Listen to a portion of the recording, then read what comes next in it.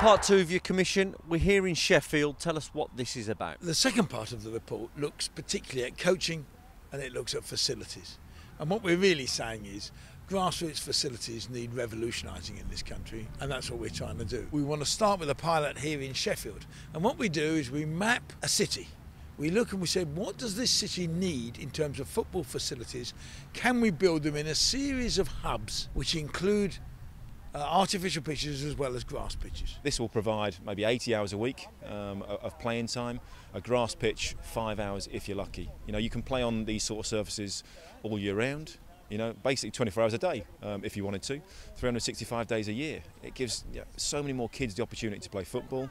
But most importantly, with the report, you know, we want more coach educators. If we can do that, people can come here, local teams, local grassroots coaches can come and they can be supported. At the moment, you know, it's very much you pass your badge, you go away and you're left your own device.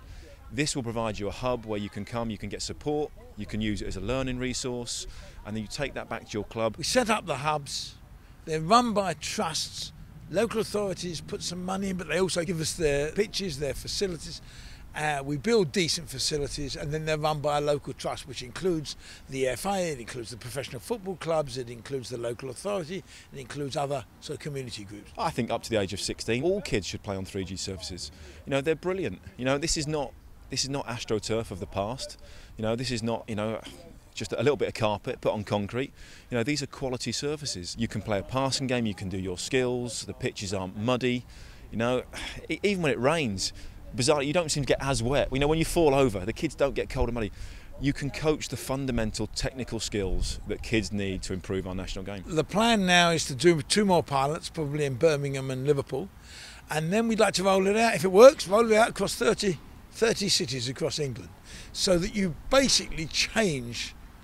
It's a sort of like revolutionary change in the provision of, for grassroots football. Coaching is the second big facet of your second part of the report. What, what's the change there? Well, the changes we're changing the structure of how we train coaches uh, at the FA.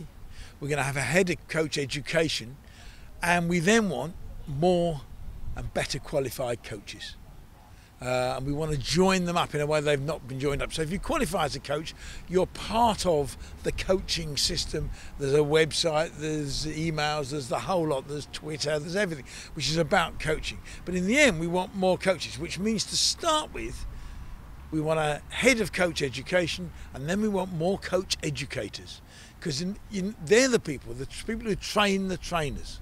They're the people we want to start with.